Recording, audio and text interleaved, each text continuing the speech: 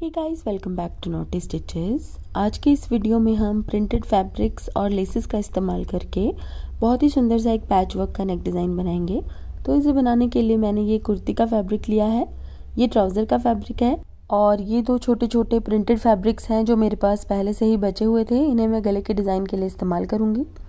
तो यहाँ पर मैंने ट्राउज़र के फैब्रिक में से सात इंच लंबा और सात इंच चौड़ा कपड़े का एक टुकड़ा कट किया है। और मेरे पास ये लेफ़्ट ओवर फैब्रिक है जिसकी चौड़ाई है सात इंच और लंबाई है दस इंच। आप इसकी जगह कोई प्लेन फैब्रिक भी इस्तेमाल कर सकते हैं। अब हम इन दोनों कपड़ों को फ्यूज़ पेपर के ऊपर इस तरह से चिपका देंगे। प्रेस की हेल्प से हम दोनों के दोनों फैब्रिक्स को फ्यूज़ पेपर के ऊपर चिपका देंगे ताकि इनके ऊपर काम करना इजी हो जाए। और अब हम कुर्ती के ऊपर बनाने के लिए गले की कटिंग करेंगे। तो इसके लिए मैंने फ्यूज़ पेपर लिया है और इसे बीच में से फोल्ड कर लिया है। गले की चौड़ाई मैंने यहाँ पर ली है साढ़े तीन इंच और लंबाई मैंने ली है आठ इंच। आप गले की लंबाई और चौड़ाई अपनी मेजरमेंट्स के हिसाब से बना सकते हैं। अब हमें यहाँ पर एक गोल गला ड्रॉ करना है तो इसके लिए यहाँ से 1.2 इंच की दूरी पर एक तिरछी लाइन ड्रॉ करेंगे और अब इस निशान को टच करते हुए हम गोल गला ड्रॉ करेंगे ताकि बिल्कुल परफेक्ट राउंड नेक हमारा यहाँ पर बनकर तैयार हो। अब इस गले के चारों तरफ़ हमें एक इंच चौड़ा बॉर्डर ड्रॉ करना है, जिसके लिए एक एक इंच की दूरी पर हम इस तरह से निशान लगा लेंगे और अब हम इन निशानों को आपस में जोड़ लेंगे इस तरह से। और एक इंच चौड़ा यहाँ पर बॉर्डर हमारा ड्रॉ हो गया है, अब हम इसे कट कर देंगे। और इस तरह से गले की कटिंग करने के बाद हम इसे ट्राउज़र वाले फैब्रिक के ऊपर चिपका लेंगे। तो यहाँ पर मैंने गले को ट्राउज़र वाले फैब्रिक के ऊपर चिपका लिया है। अब हम कुर्ती का सेंटर मार्क करेंगे। तो गले की कटिंग करते हुए जो फ्यूज़ पेपर बीच में से बचा था, उसे हम कुर्ती के फ्रंट हिस्से पर बिल्कुल सेंटर में रख के इस तरह से यहाँ पर मार्क कर लेंगे। और इसका सेंटर भी हम अच्छे से मार्क कर लेंगे इस तरह से। अब हम गले के लिए पैच बनाकर तैयार करेंगे। तो जो फैब्रिक हमने फ्यूज़ पेपर के ऊपर चिपका के रखा था, उसे हम बराबर चार हिस्सों में काट लेंगे। आप चाहे तो यहाँ पर प्लेन फैब्रिक का इस्तेमाल भी कर सकते हैं। तो इस तरह से इन पट्टियों को अच्छे से कट करने के बाद हमें इनके बीच में लेस लगा के इनको अटैच करना है। तो यहाँ पर मैंने दो तरह की लेसेस ली हैं। सबसे बीच वाले हिस्से में मैं थोड़ी अलग तरह की लेस लगाऊँगी और दोनों तरफ़ मैं एक जैसी लेस अटैच करूँगी। तो इस तरह की डबल एजिंग वाली लेसेस बाज़ार में बहुत ईजीली मिल जाती हैं। अलग अलग पैटर्न्स में आपको ये लेसेस मिल जाएँगी। बहुत ज़्यादा चौड़ी आपको यहाँ पर लेस नहीं लगानी है। तकरीबन आधा इंच चौड़ी मैंने ये लेसेस ली हैं। तो इस तरीके से पट्टी के साथ हम लेस को अटैच करेंगे और अब हम इसको इस तरह से सीधा करेंगे और इसके ऊपर एक टॉप स्टिच लगाएँगे ताकि लेस बिल्कुल सफ़ाई से अटैच हो जाए पट्टी के साथ और अब हम लेस की दूसरी तरफ़ दूसरी पट्टी को अटैच करेंगे इस तरह से। ये देखिए, बहुत ही सफ़ाई से हमें दोनों पट्टियों के बीच में लेस को अटैच करना है ताकि बीच में एक जालीदार पैटर्न हमारा नज़र आए। इसी तरह से बाकी की पट्टियों को भी हम लेसेस के साथ अटैच करेंगे और ये देखिए, यहाँ पर इस तरह का एक पैटर्न हमारा बनकर तैयार हो गया है। और इसी तरह का पैटर्न आप अपने प्लेन फैब्रिक के ऊपर भी बना सकते हैं। अब हम इसके नीचे एक और लेस इस तरीके से अटैच करेंगे। किनारे पर सिलाई लगाएँगे और अब इसको इस तरह से सीधा करेंगे और एक टॉप स्टिच लगाएँगे। और अब जो हमने ट्राउज़र के प्रिंट में से फैब्रिक कट किया था उसे इस तरीके से इसके नीचे अटैच करेंगे। इस तरह से। और यहाँ पर भी एक सिलाई लगा लेंगे। अब नीचे वाले पैच को हम इस तरीके से कट करके सीधा करेंगे। और इस पैच की लंबाई हमें सिर्फ़ चार इंच तैयार चाहिए। तो चार इंच नाप के एक्स्ट्रा कपड़ा हमें कट कर लेना है। अब हम इसके ऊपर ये लेस लगाएँगे, जो कि बिल्कुल ऑप्शनल है। मेरे पास ये लेस पड़ी थी, इसलिए मैंने इसके ऊपर अटैच कर दी है। तो इस तरीके से हम लेस को रखेंगे कि इसका कटवर्क वाला भाग जो है पैच के अंदर की तरफ़ हो, और इसकी किनारे पर हम इस तरह से सिलाई लगा देंगे। बिल्कुल सीधा अटैच करना है हमें इस लेस को। बिल्कुल इसी तरह दूसरी तरफ़ भी हम लेस को अटैच करेंगे, और इसके नीचे वाले हिस्से पर भी हम लेस को इसी तरह से अटैच कर देंगे। अब हम साइड से एक्स्ट्रा कपड़ा कट करेंगे इस तरह से और पैच को बिल्कुल सीधा कर लेंगे काट के।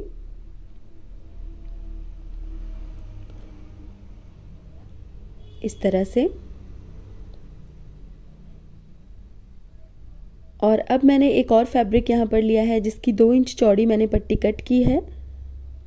अब इस फैब्रिक को हम इस तरीके से रखेंगे और जो सिलाई हमने लेस अटैच करते हुए साइड में लगाई थी, बिल्कुल उसी सिलाई के ऊपर एक बार और सिलाई लगाएँगे।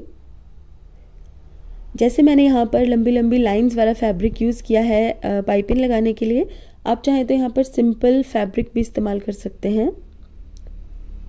ज़रूरी नहीं है कि आपको भी इसी तरह के प्रिंटेड फैब्रिक्स इस्तेमाल करके ही पैच बनाना है। आप प्लेन फैब्रिक्स का इस्तेमाल करके भी ये पैच बना सकते हैं। तो इस तरीके से मैंने तकरीबन आधा इंच चौड़ी पाइपिंग इस पैच के दोनों तरफ़ अटैच करी है और अब नीचे से हम यहाँ से पाइपिंग का एक्स्ट्रा कपड़ा कट करेंगे और इसके नीचे वाले हिस्से पर भी हमें पाइपिंग अटैच करनी है। नीचे वाले हिस्से पर पाइपिंग अटैच करते हुए हमें पाइपिंग के कपड़े को थोड़ा सा पिछली तरफ़ मोड़ देना है इस तरह से और अब सिलाई लगानी है इस तरह से और यहाँ से भी हमें कपड़े को थोड़ा सा पिछली तरफ़ मोड़ देना है। और अब हम इस कपड़े को इस तरह से सीधा करेंगे और पिछली तरफ़ पलट देंगे, जिससे कि इसके साइड्स में भी फिनिशिंग आ जाएगी।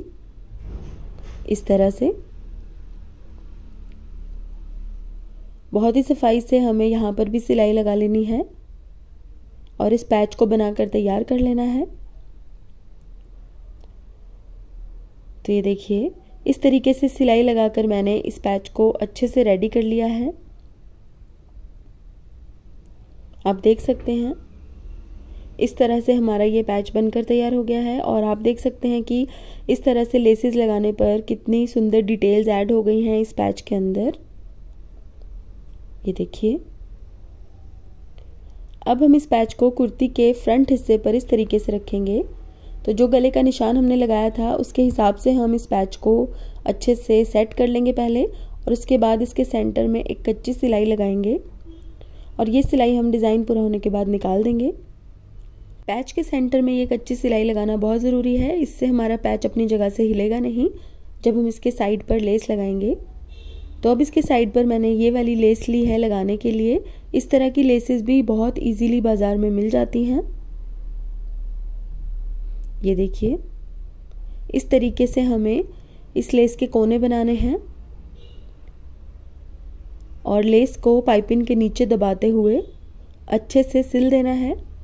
लेस को अटैच करते हुए हमें इस चीज़ का ध्यान रखना है कि कपड़े में बिल्कुल भी बल नहीं पड़ने चाहिए और लेस बिल्कुल सफ़ाई से अटैच होनी चाहिए। अगर आप बिगिनर हैं तो आप पहले पैच के ऊपर लेस अटैच कर लीजिए और उसके बाद ही आप इस पैच को कुर्ती के ऊपर अटैच कीजिएगा। अब इस पैच के साइड पर भी मैंने यहाँ पर एक सिलाई लगा ली है। तो पैच मैंने यहाँ पर अच्छे से अटैच कर दिया है। अब हम इसके ऊपर बनाने के लिए गला रेडी करेंगे। तो गले का एक्स्ट्रा फैब्रिक हम इस तरह से पिछली तरफ़ मोड़ेंगे और कच्चा टांका लगाएँगे। अब इस गले के ऊपर हम लेस लगाएँगे। तो क्योंकि ये गोल गला है तो इस लेस को हम इस तरीके से खींच देंगे ताकि ये लेस गोल गले पर इजीली लग जाए। ये देखिए, इस तरह से हमें लेस को अच्छे से स्ट्रेच करके रेडी करना है गोल गले पर लगाने के लिए।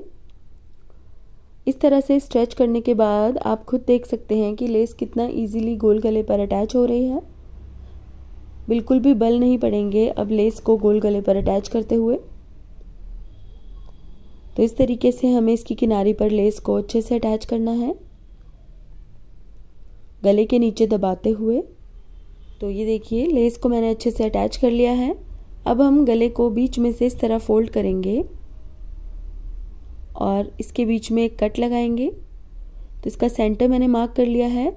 अब हम कुर्ती की रॉन्ग साइड पर गले को इस तरीके से रखेंगे। और जैसे हम कोई भी बेसिक गला बनाते हैं, बिल्कुल उसी तरीके से गला बनाएँगे। बस इसको हमें पलट के सीधी तरफ़ लेकर आना है। अब इस तरीके से गले को सीधी तरफ़ पलटने के बाद इसकी किनारी पर हम सिलाई लगा लेंगे इस तरह से। इस तरह से सिलाई लगाने पर गले में बहुत ही फिनिशिंग ऐड हो जाती है। और बनने के बाद गला बहुत अच्छा लगता है। और अब हम इस गले के बाहर वाली तरफ़ भी सिलाई लगाएँगे इस तरह से। और अब हम एक सिलाई इसकी लेस के ऊपर भी लगा लेंगे। इस तरह से। तो इस तरह से गला बनाने के बाद अब हम इसके ऊपर अच्छे से प्रेस कर लेंगे और इसका कच्चा टांका निकाल देंगे। तो ये देखिए, गला हमारा यहाँ पर बनकर तैयार हो गया है। तो गाइज़ आज के लिए बस इतना ही। अगर आपको मेरा ये वीडियो अच्छा लगा है तो इसे लाइक करें और मेरे चैनल को सब्सक्राइब करें। सब्सक्राइब के बटन के साथ जो बेल आइकन है उसे दबाना ना भूलें ताकि आपको मेरे वीडियोस के रेगुलर अपडेट्स मिल सकें। साथ ही आप मुझे फेसबुक और इंस्टाग्राम पर भी ज़रूर फॉलो कर लीजिएगा, जिसका लिंक मैंने डिस्क्रिप्शन बॉक्स में दिया है। तो guys thank you so much for watching bye bye